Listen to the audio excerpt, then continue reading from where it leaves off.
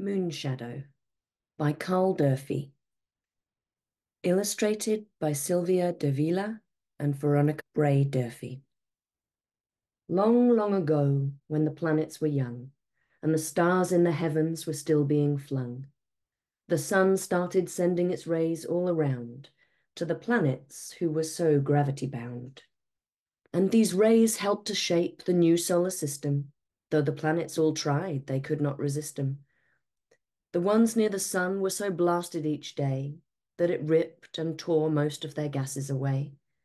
The ones further out held on to theirs tightly, one spun on its side, the others uprightly. And as time carried on, the eons slipped past. The planets all travelled through space ever fast. The sun felt distinguished, important and proud. He let everyone know it. He yelled it out loud. He said, I create light and it goes where it's told. I divide things in two, one warmed and one cold. You will always know, for the difference is stark. One side will be lit, while the other is dark.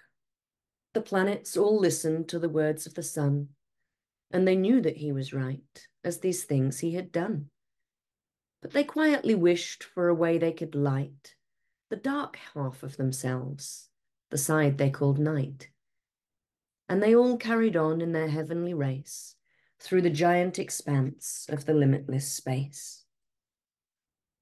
After so many eons had gone in a flash, the third planet in line had a terrible crash.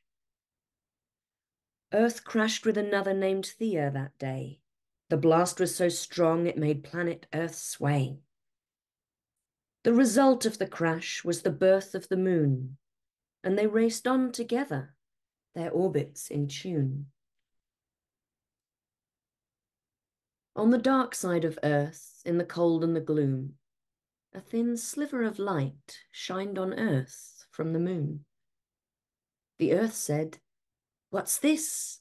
I see light on both sides. The sun interrupted, Stop spreading those lies. As everyone knows, I am light all alone. You all have one lit and one darkness-filled zone. But the very next night, as the earth and moon twirled, the sliver got bigger and it shined on the world. The earth said, see there, it's shining more now. And the planets all looked with a gasp, asking how. And the sliver kept growing night after night until it was full, a great disk round and bright. The planets all marvelled, and the sun was incensed. What was this strange glimmer they were seeing dispensed? Then, just as it started as a thin slice of light, the light started to shrink by a thin slice each night.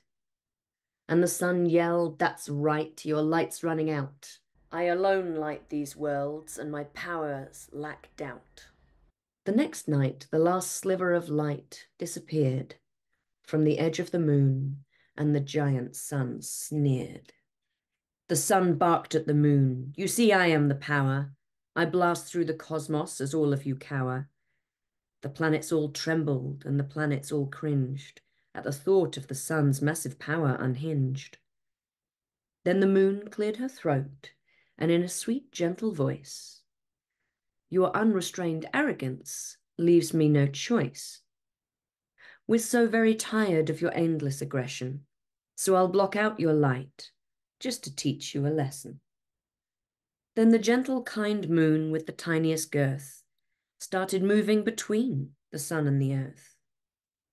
And as she did this so careful and slow, her moon shadow cast on the earth down below. When the sun saw this, he roared with disgust.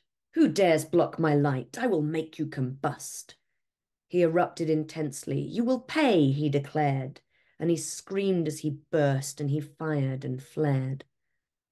But the moon didn't budge. She spoke not a word.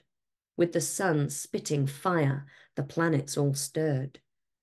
Who was this brave, lonely moon who resists the will of the almighty sun in their midst? But she did so resist in her silence she sat, in the line of the light where the seething sun spat. And he raged and he rumbled with words and with thoughts until his whole surface was covered with spots. But then the sun stopped. He stammered and spluttered.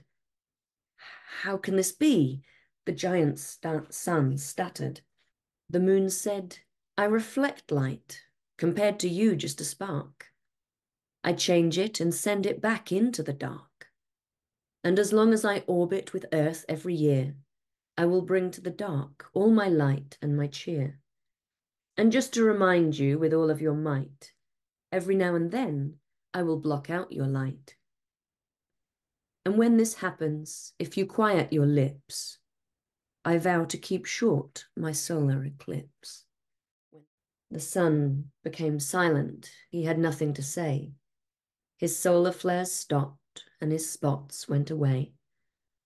And every planet who'd nervously watched the sun become angry and flary and splotched, all knew that their dark sides need not be so if they find a nice moon with their gravity tow.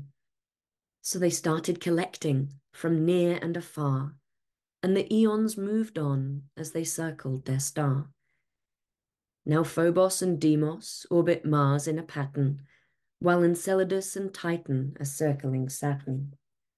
There's Triton, the moon that Neptune has caught, while Europa and Ganymede fly past the red spot. There are so many more, far too many to mention, who all serve as a beautiful sunlight extension and they all bring their love and light to the dark, in spite of the sun's very loud, angry bark. So the eons continue to pass so concisely, as the moon passes through all her phases precisely. She continues today. If you glance at the moon, you'll see changes each night in the sky with stars strewn. And for thousands of years, she's been watched and admired She's kept time for the ancients, our dreams she's inspired. And if you ever happen to hear someone say that the moon will block out the sunlight today, remember that this is just a reminder warning the sun to be humble and kinder.